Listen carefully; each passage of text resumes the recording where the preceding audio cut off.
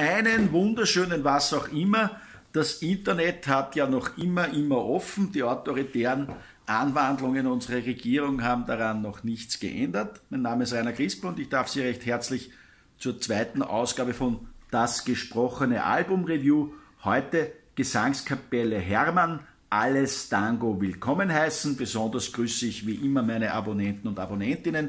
Es sei mir en passant noch genehmigt, genehmigt äh, darauf hinzuweisen, dass das alles seinen Ausgang nahm mit dem Buch Musikarbeiter unterwegs, mit Fotos von Marion Lang und Texten von mir aus 15 Jahren einer Serie im Augustin, dieser wunderbaren Zeitung bei Zeus.com anzusehen, wenn Sie über das Buch was wissen wollen. Um jetzt sozusagen die Musik auch anders zu rezipieren, Reviews, weil das Review ist ja nicht mehr so. Ich begann mit den Fehlfarben und ihrer Live-Version von Monarchie und Alltag, die im Juni erscheint, die ich Ihnen wirklich sehr ans Herz lege. Äh, auch die Gesangskapelle Hermann, alles Tango, hat große Qualitäten. Es hat ein bisschen gedauert, bis ich mich von den Fehlfarben zur Gesangskapelle Hermann bewegt habe. Das sind auch durchaus unterschiedliche Welten.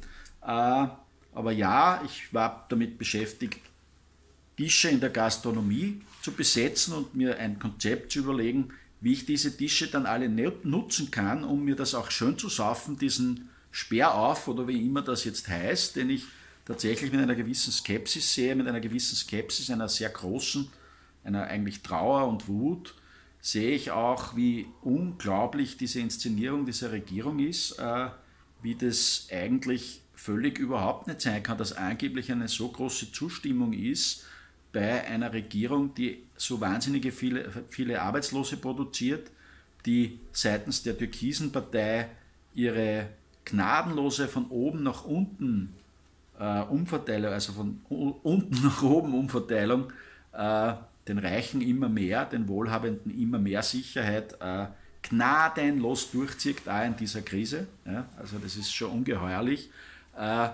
Wie dieser Fake, dieser Kanzlerimitator dann auch über seine Schergen, anders kann man das nicht mehr nennen, wie jetzt durchs Internet, ich habe es nicht überprüft, ja, und wenn es dann nicht stimmt, aber es passt so zu ihm, es passt so zu dem, wie die agieren, dass er da anordnen oder anregen nur lässt, dass man beflaggt. Ja.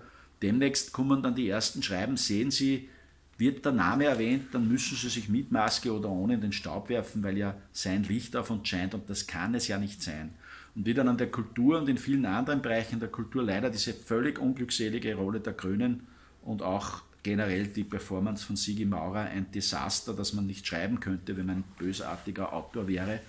Äh, das ist einfach alles unpackbar. Da muss man manchmal ein bisschen am Boden liegen und jammern.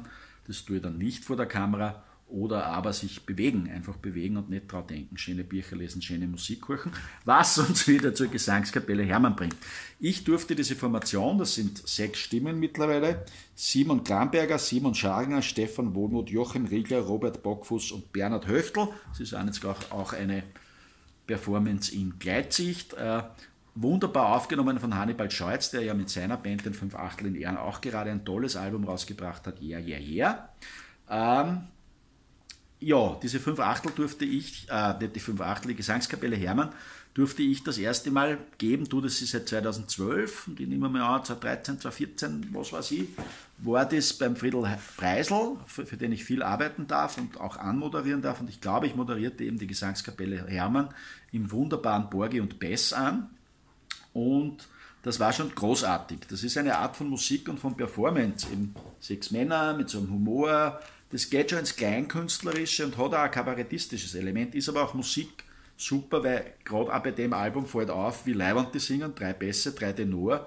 Also so wie ich dann nicht auf den Text gehört habe und das meine ich ernst und das meine ich als ganz großes Kompliment, habe ich mir gedacht, hey, würde ich mal sozusagen den äh, Brian Wilson in mir spüren und ordentliche Gesangssätze produzieren wollen, dann würde ich mit diesen sechs nicht mehr ganz jungen, aber noch sehr, aber doch jungen Männern reden.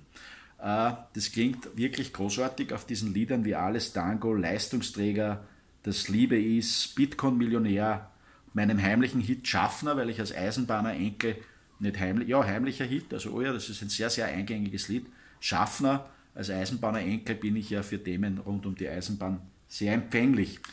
Live hat das super für mich funktioniert, daran kann ich aber auch festmachen, was sozusagen gesagt werden muss, meiner Meinung nach, wenn der Kritiker ehrlich ist, äh, ich habe ja eben eine gewisse Distanz zu so Kabarett, Kabarett und Kleinkunst, würde mir das wahrscheinlich bewusst nie anschauen. Wann es dann sieht und es diese Qualitäten hat, die die Gesangskapelle Hermann, muss ich übrigens unten in den Infomöglichkeiten die Homepage finden, wo Sie dieses Album auch beziehen können, äh, dann gefällt es mir sehr oft eh sehr gut, weil das eben nicht nur albern ist, nicht nur nivellierend und relativierend.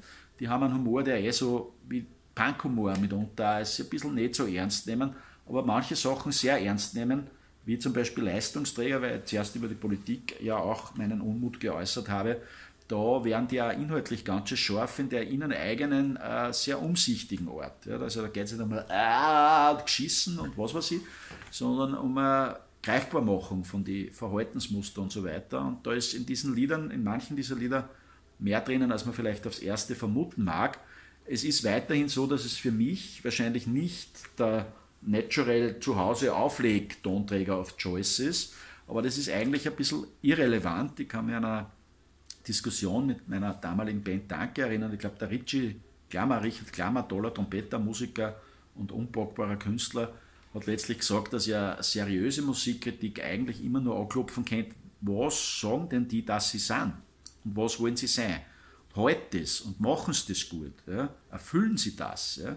Und da kann man bei Alles Dank und seinen zehn Liedern sagen, die Gesangskapelle Hermann hat tatsächlich für sich mit diesem dritten Album äh, Opus Magnum, Magnum Opus ist immer so ein großes Wort, vor allem, weil da muss ich gleich wieder an Opus D denken und da wird man dann gleich wieder schlecht. Äh, aber das ist sowas wie wahrscheinlich das gültigste Dokument dessen, was sie tun. Es wird auch Gitarre gespielt, es gibt ein Trumpet, was glaube ich live mittlerweile auch äh, eingesetzt wird. Live ist auch ein gutes Stichwort, weil wie gesagt, ich glaube noch durchschlagskräftiger ist ja solche Musik auch live. Äh, ist natürlich der Gesangskapelle viel abgesagt worden. Da unten sehen Sie die Ersatztermine. Und wenn Sie einen ungefähren Guster kriegen oder Menschen kennen, die sowas suchen und sowas wollen, dann weisen Sie sie doch darauf hin, die sind schon eines, eine der spezielleren Freuden des heimischen Musikgeschehens. Und ohne jetzt in so eine pauschale Medienkritik zu, äh, äh, zu kippen, da sind einfach auch wirklich Lieder drauf, an die in einem vernehmbaren Radio öfter gespielt werden würden. Und das muss gar nicht Ö3 leisten, aber es ist einfach unverständlich, warum es sowas nicht gibt. Diese Fülle an, an sehr witziger, gewitzter, gut gemachter, pointierter Musik und, und Ansätzen wie eben Gesangskapelle Hermann und wie zig andere die tatsächlich äh, sich in den Alltag von Menschen einbauen würden können, wenn die Menschen das einfach so hören würden. Wahrscheinlich ist dieser Zug eh abgefahren und das läuft über Playlists, aber egal, da würde sich die Gesangskapelle Hermann auch anbieten und da wirken dann auch einzelne Stücke für sich stimmig. Also vielleicht ist das Albumformat auch für so etwas nicht unbedingt das zwingendste Format. Mit all diesen Zweifeln muss man aber auch noch einmal sagen. Ich glaube, das war ja diese handelnden Personen, diesen sieben handelnden Personen, die auch die Lieder geschrieben haben und so weiter, die Arrangements und der Hannibal als Aufnehmender und, und Formender, sicher auch bewusst. Und das ist auch eindrucksvoll, wie sie diese nämlich nicht leichte Aufgabe gelöst haben.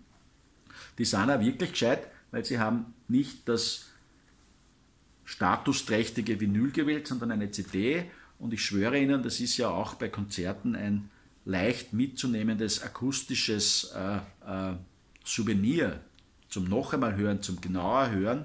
So glaube ich, ist ja die CD, für das ist ja die CD super. Und ich wage es zu behaupten, dass äh, auch die Gesangskapelle Hermann bei den Konzerten dann einen Großteil, wenn nicht überhaupt die ganze Auflage von Alles Tango der Erst- oder Zweitauflage, weil ich glaube, das findet seine Fans, loswerden wird. In diesem Sinne, Tango tanzen kann ich nicht, aber auf den Tango lasse ich mich gerne, machen Sie es doch auch. Gesangskapelle Hermann, hip, hip, hurra.